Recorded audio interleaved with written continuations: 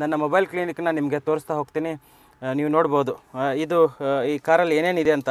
ಇದು ಕೊರೋನಾಕ್ಕೆ ಸಂಬಂಧಪಟ್ಟಿರುವಂಥ symptomatic treatment ಕೊಡುವಂಥ ಕೆಮ್ಮು, ನೆಗಡಿ, ಜ್ವರ, ಶೀತ, ಬೇದಿ, ವಾಂತಿಗೋಸ್ಕರ ಇಂಥ ಔಷಧಿಗಳು ಮತ್ತು ಇದು ನಿಮಗೆಲ್ಲರಿಗೂ ಗೊತ್ತಿದೆ ಇನ್ಫ್ರಾರೆಡ್ ಥರ್ಮಾಮೀಟ್ರು.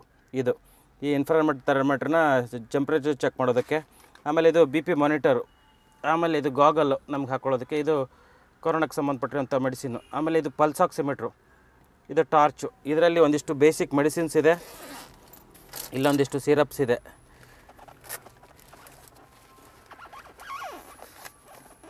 ಇದು ಸೇಫ್ಟಿಗೋಸ್ಕರ ಇದು ಗಾಗಲ್ ಇದೆ. ಹಾಗಾಗಿ ಇದು ನನಗೆ ರಾತ್ರಿ ಊಟ ಅದು ಸಿಗಲ್ಲ. ಹಾಗಾಗಿ ಒಂದಿಷ್ಟು ಫುಡ್ ಐಟಮ್ಸನ್ನು ಇಟ್ಕೊಂಡಿದ್ದೀನಿ ಇಲ್ಲಿ.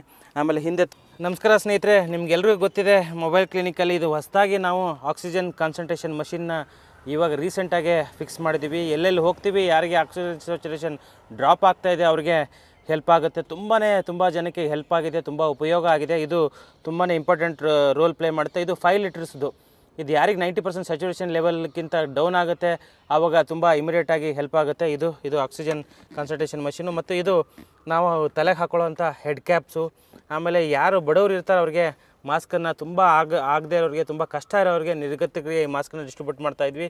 ಮತ್ತು ಇದು ಕೋವಿಡ್ಗೆ ಸಂಬಂಧಪಟ್ಟಿರೋಂಥ ಮಾತ್ರೆಗಳು, ಇದು ಗ್ಯಾಸ್ಟ್ರಿಕ್ ಸಂಬಂಧಪಟ್ಟಿರೋಂಥದ್ದು ಇದು ಜ್ವರಕ್ಕೆ ಸಂಬಂಧಪಟ್ಟಿರೋಂಥದ್ದು ಈ ಥರ ಬೇರೆ ಬೇರೆ ಬೇರೆ ನಾನಾ ಥರ ಮೆಡಿಸಿನ್ಸ್ ಇದೆ. ಆಮೇಲೆ ಇದು ಸಿರಪ್ಸ್ ಇದೆ. ಇದು ಕಫ್ಗೆ ಸಂಬಂಧಪಟ್ಟಿರೋಂಥ ಸಿರಪ್ ಇದು.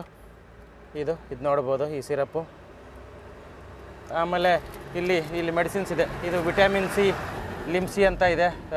ಇದು ಮೆಡಿಸಿನ್ಸು.